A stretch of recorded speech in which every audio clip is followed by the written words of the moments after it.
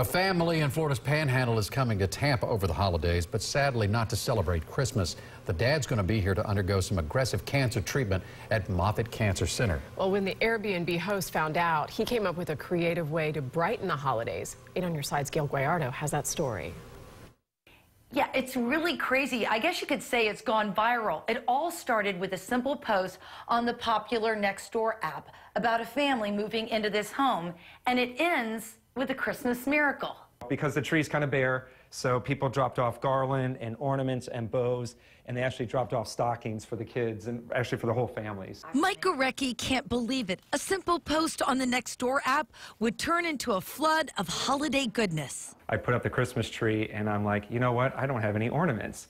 So I used our Nextdoor app for our neighborhood here, and I just put a simple post out there like, uh, instead of me going to the store and buying ornaments, how about everybody um, drop off just like little words of encouragement or little notes and stuff, and I'll use those as the ornaments for the tree. People did drop off notes of encouragement. Somebody wanted to donate. Um, it's almost like a little message in the bottle that he can kind of read, you know, before and after his, his procedure and stuff. So, and then some ornaments as well that they donated. But the holiday love just kept pouring in.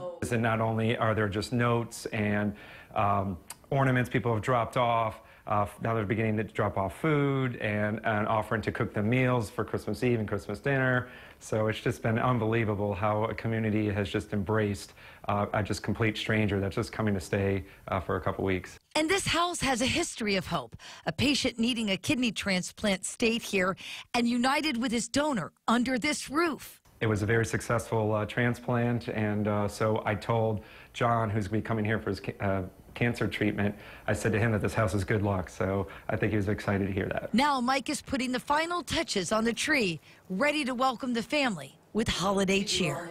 And Mike mentioned the food starting to come in. I thought this was a crazy story. This morning, I woke up early to a text from my mother-in-law, and she said, hey, I saw the post on the Nextdoor app and I'm going to be dropping off food this morning, and she did. So everybody is chipping in as this post continues to go viral.